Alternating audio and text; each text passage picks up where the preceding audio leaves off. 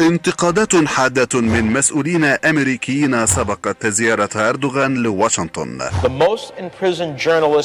in the world are not in North Korea, they are not in Russia, they are not in Iran, they languish in Turkish prisons. This doesn't happen in a democracy. President Trump, I urge you to cancel this invitation. بل ذهب البعض إلى حد المطالبة بتسليم أردوغان للمحكمة الجنائية الدولية بسبب ما ارتكبه من جرائم سواء في تركيا أو سوريا Everyone should look in the mirror and he'll see a terrorist there, The head of a government which is a state sponsor of terrorism, which supports groups that have committed terrible atrocities. Don't invite them. Send them home. Send them packing.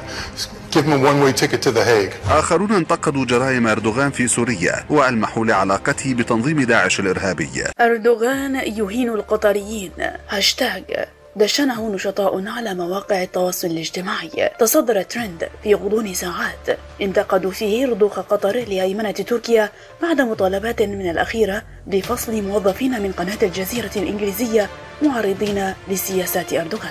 هجوم عنيف شنته وسائل إعلام تركية حكومية على قطر بسبب التغطية الإخبارية لقناة الجزيرة الناطقة باللغة الإنجليزية للعملية العسكرية التركية في سوريا. فبينما لا تنتقد قناة نظام الدوحة كان لديها بعض الأصوات المعارضة لتركيا. صحيفة ديلي صباح التركية المؤيدة للحكومة قالت في افتتاحية لها إن مجموعة صغيرة في قناة الجزيرة الناطقة بالإنجليزية تقوض الشراكة بين تركيا وقطر محذرة من أن شراكة البلدين قد تكون معرضة للخطر. ما لم تتخلص الدوحة من الأفراد الذين يسعون إلى تسميم هذا التحالف تحت ستار الصحافة المستقلة.